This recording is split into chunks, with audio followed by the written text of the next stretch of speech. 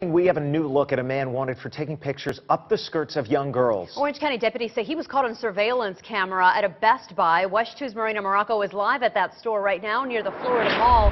So, Marina, deputies believe he's done this before, but he wasn't caught. No, he wasn't. He actually took off running, Aisha, but they do believe he'll do it again, and that's why they want to get him off the streets. And because of that, they've decided to release this disturbing video of him in the act. With no qualms about what he's about to do, this man bends down, pretends to look at merchandise, puts his phone under his victim's skirts. Even more disturbing, he rubs his arms on the little girl's legs while he photographs them. This guy's a predator. He's someone who's in the store, casing the store out, looking for young females, young girls that are under probably the age of 10. On September 18th, a man walked this Best Buy on South Orange Blossom Trail looking for his prey little girls in skirts.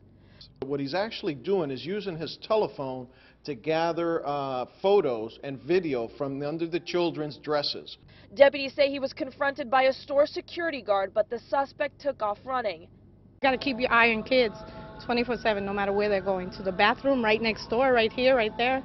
Can't, because you never know what people are going to do. And this guy and the Sex Crimes Unit has taken over this investigation. They want help locating those two victims as well as identifying that suspect. If you have any kind of information, you're asked to call the Orange County Sheriff's Office. For now, reporting live in Orange County, Marina Marraco, WESH 2 News.